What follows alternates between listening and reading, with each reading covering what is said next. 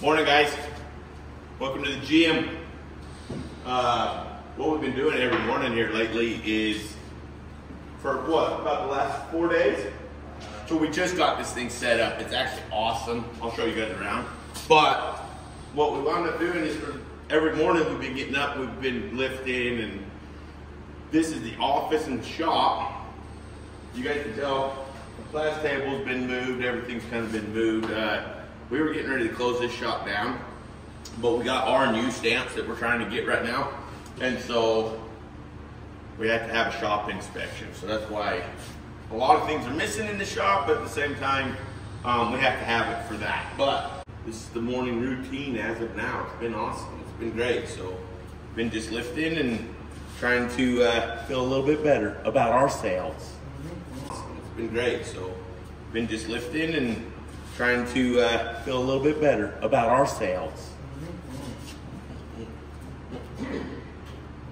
All right, guys, what's happening? So I wanted to talk a little bit about the three strike welding rule. I had a lot of guys get on there. They were a little bit upset about it and don't understand what it really entails, right? They think that, hey, three, three freaking repairs, uh, you're done forever, it's over, get out of here. Guys, the, the thing with the three strike rules is that is an oil and gas standard. That's what we, that's what we came into the industry doing. It is still the standard. Um, usually a lot of the pipelines that we did work on, a lot of the oil and gas work we did work on, um, it was three repairs, you're out on that job, right? So if you guys did, so if you worked for the same company and you were on a facility, I'm just explaining how this rule worked. If you were on a facility and you got one repair on that facility and then you wound up going to another facility and you started welding on a new area, right? A new job. The the rule would like cancel out, right? Because that that was on that facility. You're fresh, you're clean, you're on a new job. Three strikes, you're out. Um, that was kind of how it was for us. Uh, I've, I've, I've caught three repairs before. I've been, you know, let go because that was what the standard was. You have to have a standard in the welding industry.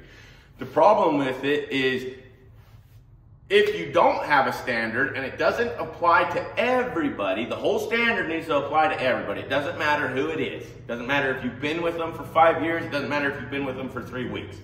If you catch three repairs on a job, it is, you're done. You're freaking, you're, you're either moved to a new area in the company or, you know, that's just the way it works.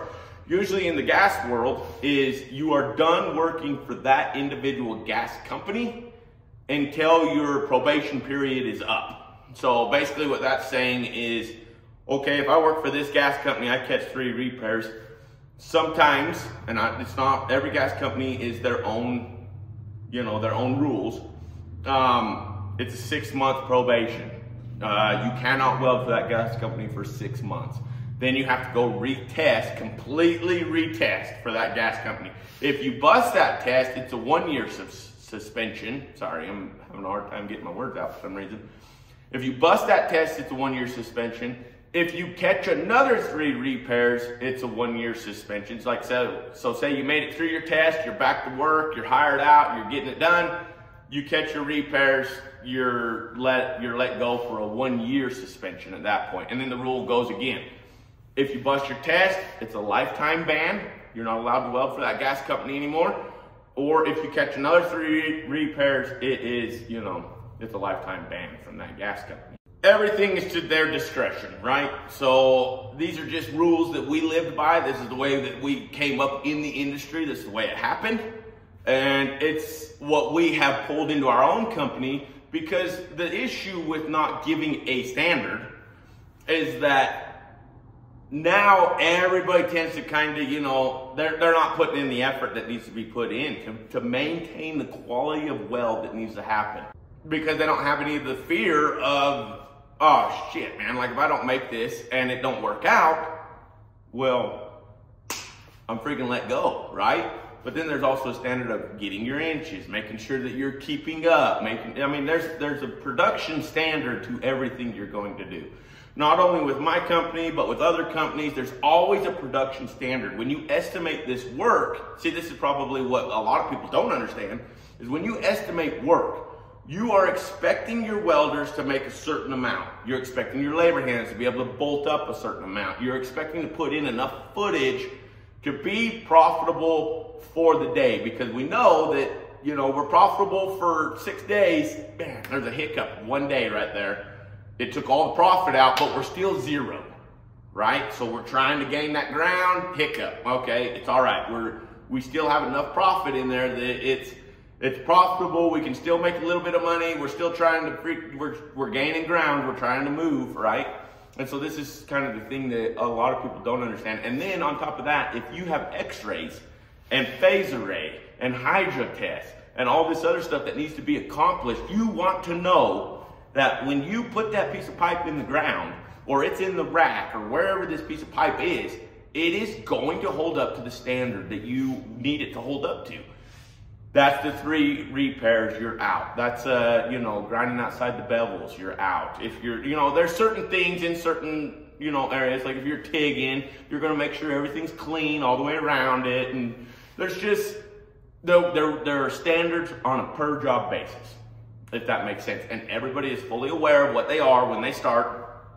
And it's not just for my company, this is for everybody's company that does pipe work, that does critical piping, that does welding, that does, you know, there's a standard. There's always going to be a standard when you show up to a project. And it's not to beat you down, it's not to freaking knock out all the greenhorns, it's not to, it's not to do anything like that. It's to say, this is where you need to be this is what you need to do to keep up. And this is, you know, this is the no-nos. This is where you don't get into. If you get three repairs, it's done, right? We close the book on you. You either move to a different part of the company to where they're doing different work for somebody else if you're good and you're able to keep up and just say, man, in one year he did this many welds. He caught three repairs on this job. Let's move him over here until his probation period's done and then we'll move him back, right? A lot of companies will do that if you're worth keeping around. If you're not, that's their chance to close the book on you. So it's not to be aggressive. It's not to be um, rude to you. It's not to slap your hands. It's not to freaking make you feel bad about yourself. I've been run off a few jobs. When I first began, I made it, uh, so my first job was a pipeline. I caught all my repairs, all right? I had a really good attitude. The gas company let me stay on. Crazy. It never freaking happens all right? They let me stay on. I learned through that job. The next job I got on, I caught three repairs in three days. Gone. Please leave. Right? and it was over. It was done. Another guy built fab, had almost 60 welds in this piece, and it was all wrong in every direction. But because he didn't bust the x-rays, he stayed on. I busted the x-rays, I got let go. Um, the next few jobs I learned and learned, and then I move on to a, a, company that I worked for like six years for, right? I made thousands of flipping welds for these guys for years and years. For like four years, I, all I did was just weld my guts out for these guys. On one job in a row, boom, boom, boom, I caught three repairs. They let me go. They moved me to a different part of the company until my probation period was up. But then they, but they still had to let me go. There's a standard. You have to have a standard in welding. That's part of it. If you don't, welders will walk over you. Welders will see how far they can get. If they know they can catch repairs, they're gonna, you know, they're not gonna put in the effort that needs to happen to this weld. And if they catch a repair, it's no big deal. I'll just go up, fix it, or send somebody else up to fix it. Well, no, now it's a big deal. Now it's a big, big deal because not only did we shoot it, and that costs money, um, now we have to send somebody else up there to weld it. That costs money. Then we have to go back in there and shoot it again. That costs money. Everything costs money, and it's taking away from the bottom line of the job. If a company is not profitable, they cannot continue to grow, which they cannot continue to make progress, which means they can't go get bigger and better jobs for the welders that are relying on them to get the jobs. So this is all things that, you know, this is the three strikes, you're out rule. This is what I'm trying to explain to you. Hopefully I explained it decently. Um, I know that there are there was quite a few comments on the last video about that, and so I'm just trying to bring it to light of what it actually is. Um, it's a standard. That's all it is. It is a standard Um, it's not being rude to anybody. It's not putting anybody, it's not hurting anybody's feelings. It's when you hire on, this is what you know you have to do. This is not just for me. This is for the majority. I would say 95% of your piping career, if you want to weld pipe, is going to be that standard. Percentage of welds, I want to know that, yeah, we only shot 15%, but because my welders hold a standard and they don't know how much we're shooting, you can shoot all of it and it will be good, right? So anyways, guys, hope that makes sense. And uh, let's keep going onward and upward, all right?